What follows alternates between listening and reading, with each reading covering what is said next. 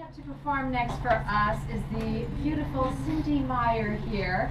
She is 12 years old and her parents are Paul and Olivia Meyer. And she has been taking voice with the lovely Allison Acaster. And she is going to be performing for us A Thousand Years by Christina Perri. So let's welcome Cindy!